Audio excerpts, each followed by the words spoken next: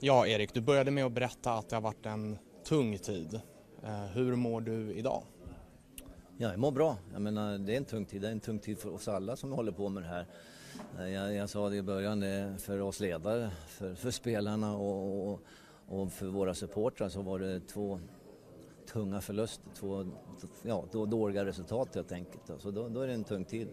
Det spelarna har en fördel, det är att de har en ny match på några dagar så får de fokusera på det.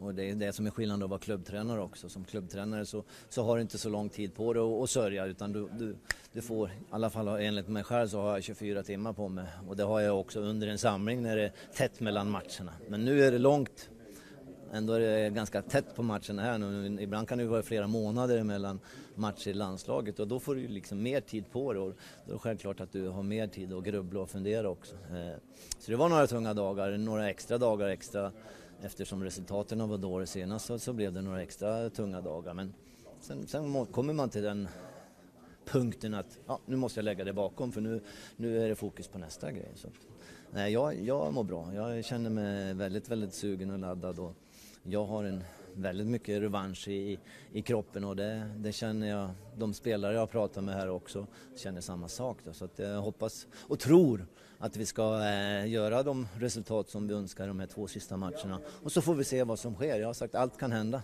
allt är möjligt. Eh, så får vi se vad, var vi hamnar efter de här två sista matcherna för oss och, och för våra eh, motståndare och konkurrenter. Hur avgörande är de här matcherna för din egen framtid i landslaget?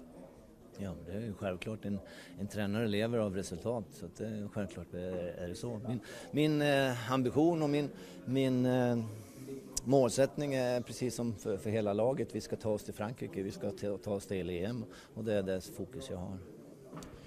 Om vi tittar på det sportsliga, eh, John Guidetti är med, vilket många har velat se. Eh, hur eh, gick dina tankar kring den uttagningen?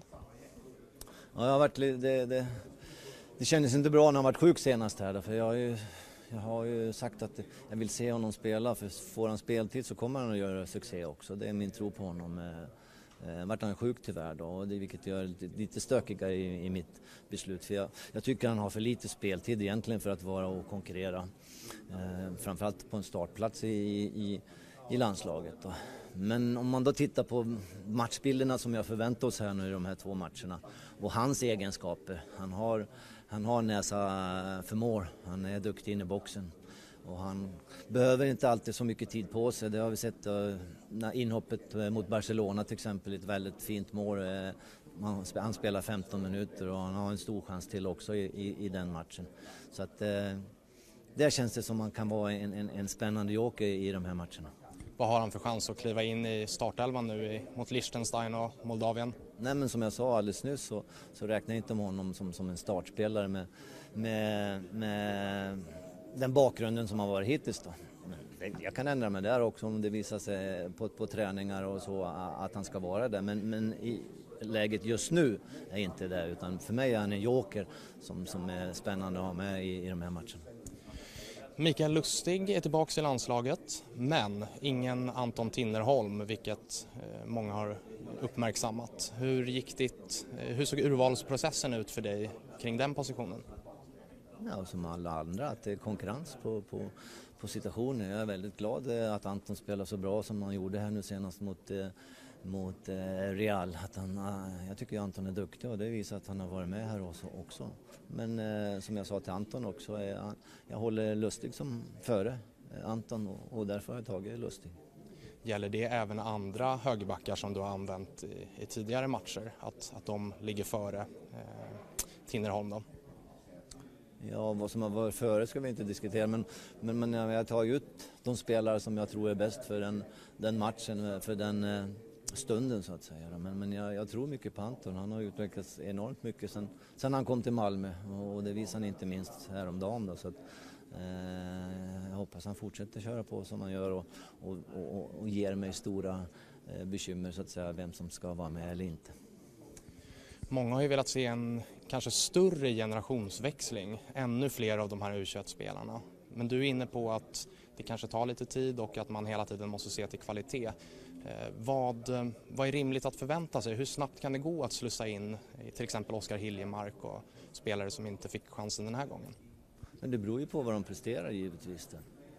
Eh, vad de presterar i sina klubbar eh, och under, under vilken tid det är också. Och givetvis också vilken konkurrens de har att göra. Jag bedömer ju de jag har tagit ut som går före just nu här. Eh, och sen får vi se vad som händer nästa match eller nästa samling och, och så vidare. Så det beror helt och hållet på vad, vad man presterar och, och man, vad man gör. Jag menar, det händer väldigt mycket i, i den här åldern. Jag kommer ihåg jag kommer ihåg förra gången när vi mötte Liechtenstein så var det väldigt många som hade synpunkter på att, att inte Hergota spelade.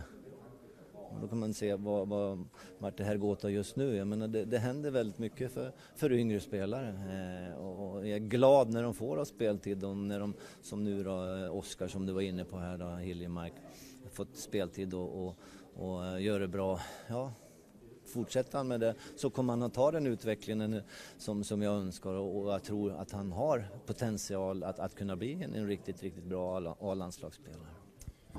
Nu är Filip Helander med här ehm, och samtidigt har det ju varit ganska stora omställningar kring försvarsspelet som du har varit inne på. Många som har kommit in och många som har försvunnit av olika skäl. Vilka chanser ger du honom att finnas med här i EM-kvalet? Men alla spelare som är har chansen att vara med och spela, så, så är det. Eh, så att, ja, precis som, som de andra.